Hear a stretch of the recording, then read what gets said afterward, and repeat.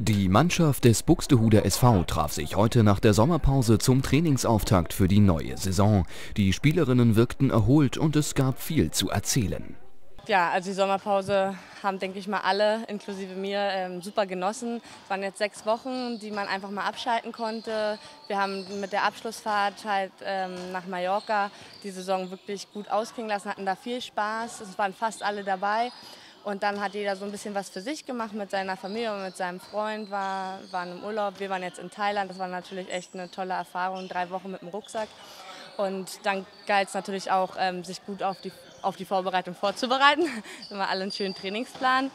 Und ja, ich denke, dass alle fleißig waren und jetzt freut man sich dann auch schon langsam so wieder sich zu bewegen.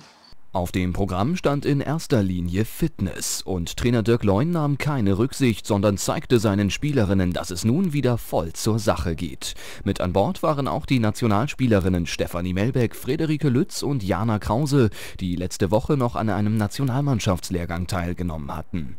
Ja, der Lehrgang war eigentlich ähm, ganz okay, äh, hat Spaß gemacht. Wir haben auch zwei Spiele gemacht. War natürlich ein bisschen komisch, nach, äh, nach den Wochen der Sommerpause gleich wieder zum Handball wieder anzufangen. Ähm, aber gut, ist ganz gut gelaufen und ähm, jetzt hier, ich freue mich einfach, dass äh, da die Mädels wieder zu sehen und äh, ja, wieder halt täglich einfach mit ihnen zusammen zu sein. Zwischen dem komplett zusammengebliebenen Kader des letzten Jahres gab es aber auch ein neues Gesicht zu begutachten. Marcella Dehn.